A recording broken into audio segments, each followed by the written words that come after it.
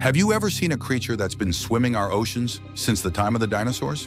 Meet the leatherback sea turtle, the gentle giant of the sea.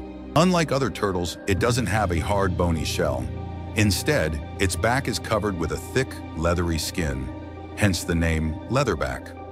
These ancient mariners are the largest of all sea turtles, growing up to seven feet long and weighing as much as a small car. And here's the wild part. They can dive deeper than 4,000 feet, reaching the cold, dark depths where few other animals can survive. Leatherbacks are also marathon swimmers. They travel thousands of miles across oceans, following the invisible highways of the sea in search of their favorite food, jellyfish. And believe it or not, they can eat hundreds of jellyfish in a single day. Without them, jellyfish populations would explode, causing major problems for marine life. But here's a question for you. If leatherback sea turtles are so big and strong, what's their biggest threat? You might think it's sharks or killer whales, but sadly their greatest danger comes from us, humans.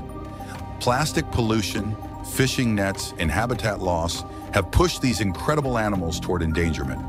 In fact, when they mistake plastic bags for jellyfish, it can be fatal. That's why every bit of ocean conservation counts. Even something as simple as reducing plastic use or supporting turtle-safe fishing can help protect them. So to answer the question, the leatherback's biggest threat isn't a predator from the ocean, it's the choices we make on land. And together we can change that story.